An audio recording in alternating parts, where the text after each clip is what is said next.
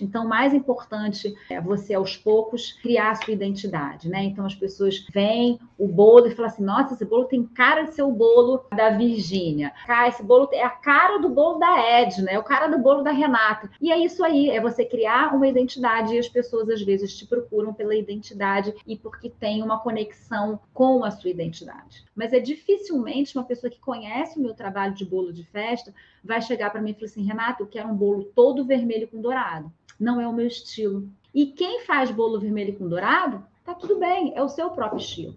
Cada um escolhe o seu estilo e não tem errado. E quando eu ensino a técnica para vocês, é a técnica para vocês usarem dentro do estilo de vocês, dentro do que vocês gostam. O importante é que você faça numa técnica correta, use as cores de uma forma correta, sabe, dentro do que você acredita que seja bacana para vocês e tá tudo certo.